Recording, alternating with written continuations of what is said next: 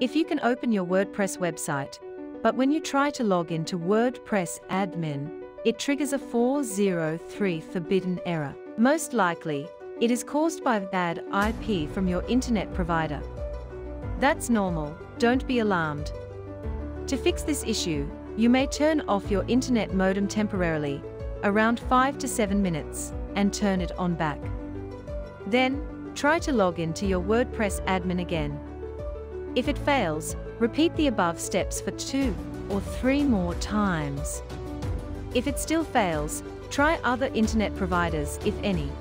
If you don't have any more time to waste, the quickest way to gain access to your WordPress admin is by logging into your cPanel and log in via a shortcut in Softaculous.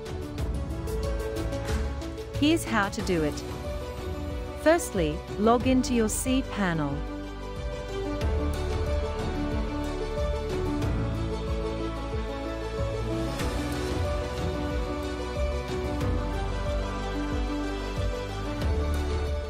Then, find the Softaculous button, if any.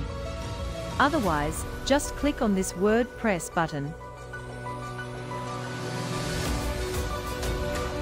And click on this human icon.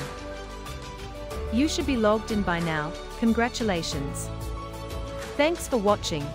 If you need any assistance, kindly contact us at support at netkl.com.